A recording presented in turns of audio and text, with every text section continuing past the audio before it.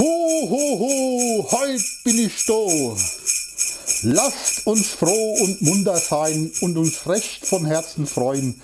Lustig, lustig, tralalala, heut ist Nikolaus Abend da. Ob Schwimmbad, Wald, ob Brauerei, wir sind halt überall dabei. Davon will ich euch hier berichten mit meinen Nikolaus-Geschichten. Zeigt keine Bilder, weil mir schwant, dann werde ich sofort abgemahnt. Zuerst, zuerst ist kurz noch zu berichten, was ist vom Schwimmbad zu berichten. Die Antwort ist ja sonnenklar. In zwei Jahren ist ein Schwimmbad da. Das war ganz knapp. Oh wei, oh wei. Dort war ja fast die Brauerei. Doch zwischenzeitlich sind wir schlauer. Gebt acht und legt euch auf die Lauer. Der Nikolaus sieht im ganzen Jahr, was in der Stadt so möglich war. Da gab es gute, schöne Sachen, doch manches war gerade nicht zum Lachen. Wir konnten einen neuen, schönen Kindergarten hier begrüßen, doch wie der Zufall es so will, legt die Verwaltung einen Alten still.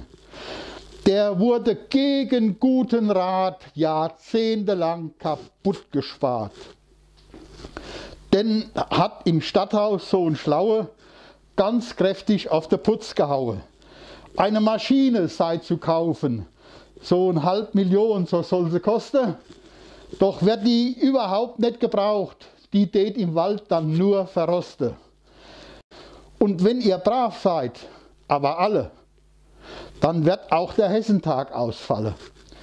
Den müssen wir in Punkt nicht dulden. Wir haben selber reichlich Schulden.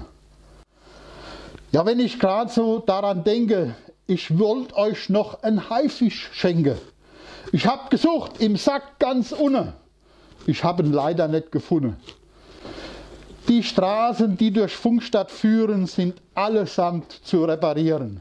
Um das zu bezahlen, seid euch im Klaren, müssen wir alle Gebühren bezahlen. Da hilft kein Jammern und kein Weinen. Am lautsten jammern ein paar Vereine. Im Stadthaus, wie ich sicher weiß, wird viel geschafft mit vielem Fleiß. Dort wirken viele gute Leute das ganze Jahr und nicht nur heute. Doch manche Stellen meist die oben, die kann ich wirklich gar nicht loben. Drum helft mir diese zu entdecken, ich will die in den Sack stecken. Das alte Jahr ist bald zu Ende, die meiste Arbeit ist getan. Dann ist die Politik gefordert mit einem neuen Haushaltsplan. Ich wünsche allen Volksvertretern, den neuen und auch den alten, dass sie mit Umsicht und Bedacht das Geld der Bürger gut verwalten. Zum Schluss noch einen Spruch, den habe ich schon immer gemocht. Es wird nix so heiß gegessen, wie es wird gekocht. Allen Funkstellern wünsche ich aus sehr gutem Grund eine friedliche Weihnacht und bleibt recht gesund. In der nächsten Woche könnt ihr dann sehen, dann wird es im Schwimmbad-Drama weitergehen. Musik